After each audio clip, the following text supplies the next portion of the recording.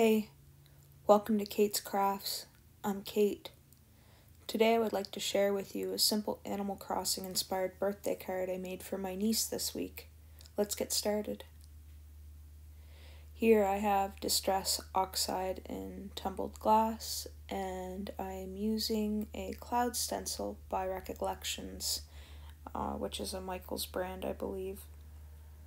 And I'm just going back and forth to kind of get an idea of what I want for the clouds. I think the stencil is really neat because it has all four sides of it that have these little puffy bumps that you can use. Uh, it's my only cloud stencil.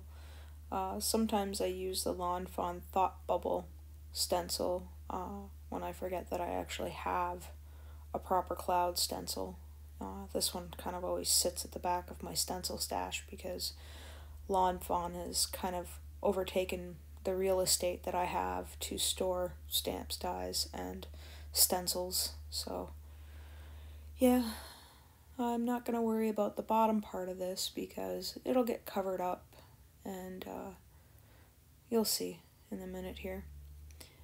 So, I have the Village Hero stamp set that I've taken the school from and I have masked off the part of the bell and I left a little stack there to put a chimney. And this is how I'm going to create my house. I do not have any of the house stamp sets, so I had to make do with what I had. And I thought, well, I, I enjoy stamp masking, but I don't enjoy fussy cutting. So I thought I'd fandangle and finesse a little bit here to create my house. So um, going back and forth with the colors until I'm satisfied. And um, you'll see here in a minute how I do the, the little roof. Um, well, not the roof, the chimney, sorry. I'm just taking a little bit of that E29 and creating a little top. And then uh, I go back in with the E25 to kind of blend that out. And then I take a Sharpie pen and I go around the edges to create that little black stamped border, if you will. And here's my least favorite part. I do not like fussy cutting. I uh, never seem to get it right, but it'll make do.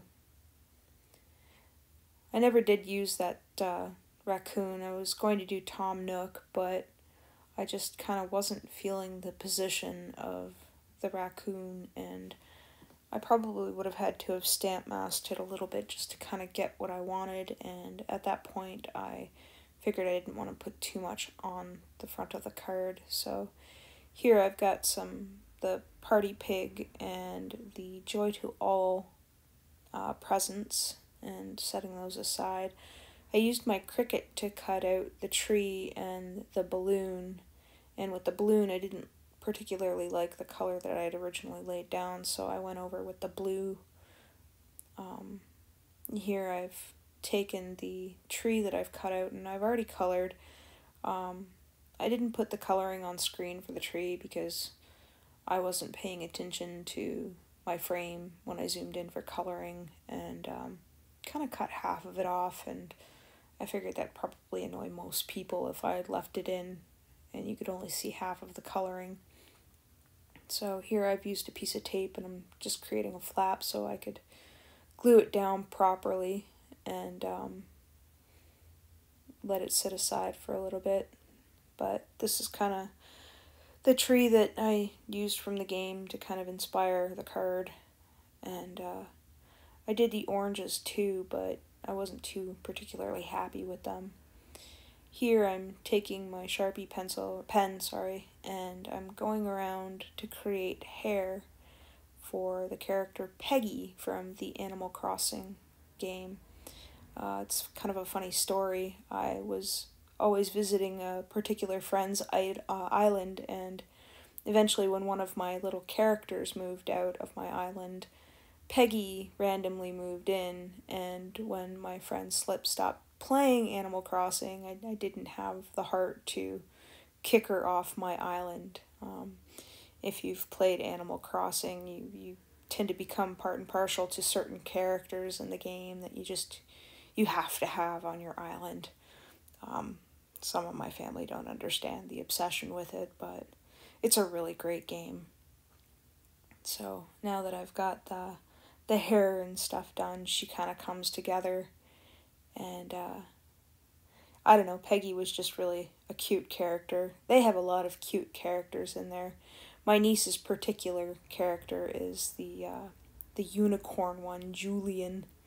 I'd had him on my island for a while there, and when it was time to get a new one, I was sure to make sure to send him her way, and she was quite thrilled with him. Uh, I think she still has him on her island. I don't know, do you guys play Animal Crossing? Let me know in the comments below. Maybe we could be friends. I'd like that. So here she's just got a cute little pink nose and now that I've got her done, I'm going to add the oranges. Um, I wasn't too pleased with these oranges, and I ended up going over them again after I've glued them later on, and I ended up putting like these holographic glossy stickers on top.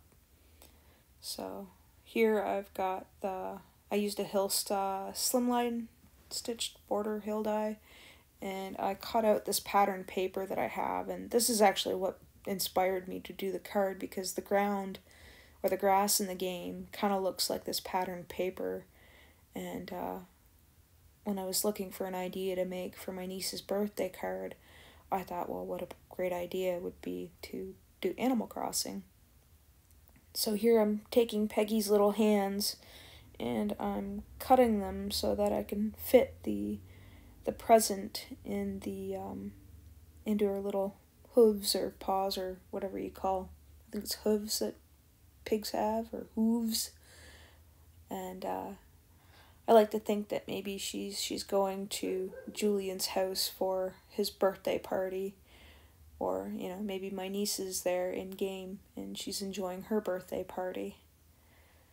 So here I'm just fussing with that and I'm going to be able to slip that present in and make it look like she's holding it. So I'm just bending up the arms a little bit and putting down a little little dab of glue and I'll slide that in with my reverse tweezers here. And there you have it. She's holding her little present to go to her friend's house. And now I'm going to take my little balloon and I'm going to glue it down. Um, these are just simple shapes that I used in Cricut Design Space to create the, the balloon and the tree and the tree trunk and the orange. Um, it's nothing too substantial if you just kind of Google what the tree is or if you have it in, on, on your Nintendo and you're looking at it. Um, they're pretty simple to put together. And it's just the shading that I did with the alcohol markers to kind of give it the idea of the texture of the tree. And here we have little Peggy hanging out with her birthday present on her way to Julian's house to wish my niece a happy birthday, I guess. Um, in the game, they have these little floating balloon presents that you could use a slingshot to pop, and I thought, oh, maybe the game was bringing another present for her. So here I have the happy birthday stamp from, um, I believe it was the offset sentiment stamps that I have by Lawn Fawn and I'm going to heat emboss that in some wow um, clear sparkle embossing powder to kind of give it a little bit of a zhuzhed up effect, if you will. Um, I'm going to use uh, my black um, My Favorite Things ink, and I'm going to use a powder tool here to make sure that I don't get it all over the place. So once I've got that stamped up, I'm going to dump the heat embossing powder on it. And you can see here what it looks like while it's still wet. So I put that back in the jar and I'm careful to put the lid on so I don't spill it. And here I've got my heat embossing tool and I'm just going to go back and forth to make sure that that melts nice and even. I love this part. It's like magic. So once I've got that done, here I'm going to go back in and kind of match up my oranges here with these stickers. I used these in a previous card that uh, I had and I thought, well, you know, these would probably fit perfect since I don't really much like the oranges that I originally put in the card. So, put a little glabadoo glue down, glabadoo, glabadoo down, and uh, so that they they stick nice for the mail, and they don't fall off. So got that down, and move that over a little bit, and lifting that one up. Nope, that one over there. Yep, that one, not the other one. That one's too red. So once I've fiddled with that and got it down enough, I have myself an orange tree. Or at least that's what I think it is. So I decide that um, I'm going to go around with my 100 black Copic marker. I'd seen this on another YouTube video where um, the creator was going around the card with, uh, or the design with a black marker just to kind of give it a little bit of an edge. Uh, what this does um, just kind of gives it that little tiny detail. Whether or not you notice it is neither here nor there for me, but I kind of like the way it looked. But uh, once I've got that done, I'm just kind of going to give that green border a little bit with that. I think that's the YG06 just to kind of create a line there. And here I have got some yellow cardstock that I cut and the way that my cutter uh, cut it kind of made like a little jagged edge so I took a mono sand eraser to kind of file that down a little bit. And here I've got some foam tape that I'm going to prop my panel up with and I'm just lining it up on itself and cutting pieces. And a friend of mine told me to use my static powder tool to dust my scissors with, and I think it worked rather nicely. So here I am kind of cutting and thinking that worked nice.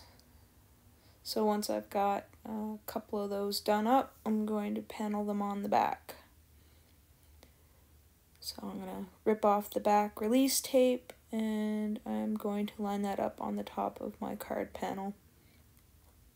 And once that's even, all I have to do is put this on a card base and I can write my little sentiment inside.